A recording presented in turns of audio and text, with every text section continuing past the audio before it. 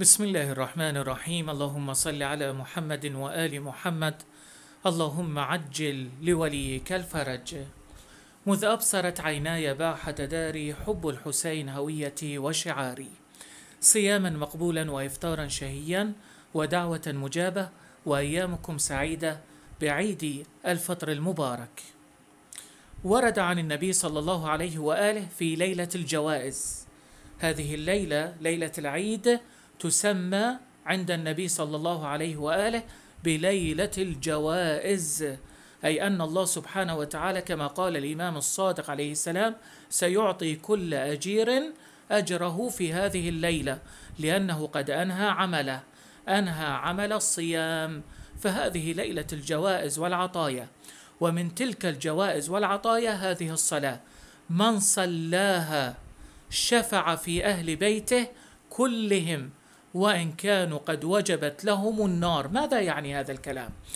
يعني بما أنك أنت أب أو أنت أم ولديكما أولاد أحدهم غير موفق في الدراسة الآخر غير موفق في الزواج الآخر مريض الآخر لديه أخلاق سيئة أخرى لديها مشاكل مع زوجها. لو كان أولادكم من أهل النار لما فعلوا من السيئات والمعاصي. الله يستجيب بعد هذه الصلاة لدعائكم فيهم.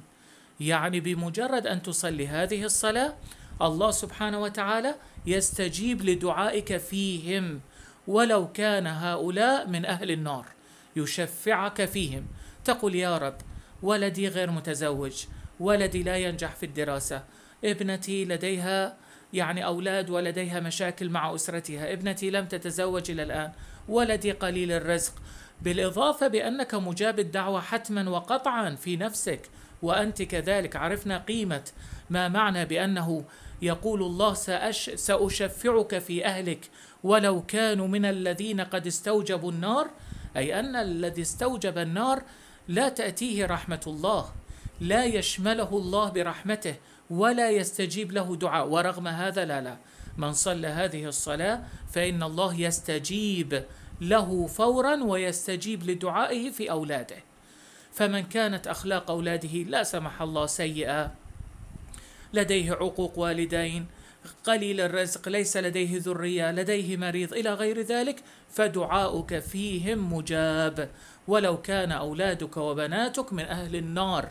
فإن الله يشفعهم ويشفعك يشفعك فيهم ويستجيب لدعائك. فهذه ليلة الجوائز والله لن يخيب أحد في هذه الليلة ابدا. فقط أرفع يديك إلى السماء واعلم علم اليقين بأن دعاءك مستجاب. هذه الليلة ليلة الهدايا العطايا. قد انتهى رمضان وجاء أخذ الأجور من الله سبحانه وتعالى. فقال النبي صلى الله عليه وآله من صلى ليلة العيد ست ركعات. كل ركعتين على حدة كما تعرفون يقرأ في كل ركعة خمس مرات قل هو الله أحد. يعني تقرأ سورة الحمد وقل هو الله أحد خمس مرات. ست ركعات كل ركعتين على حدة كل ركعة تقرأ فيها الحمد وخمس مرات قل هو الله أحد. إلا شفعه الله في أهل بيته كلهم. وإن كانوا قد وجبت لهم النار. يعني ولو كانوا غير مستحقين ابدا للإجابة غير مستحقين للرحمة غير مستحقين لتبديل حياتهم فإنك بهذه الصلاة الله يقبل. يقول لأجلك سوف أغير حياتهم أقضي حوائجهم. برنامج صباحات ولائية. أمين محمد خادم في مرقد الحسين بن علي عليهما السلام.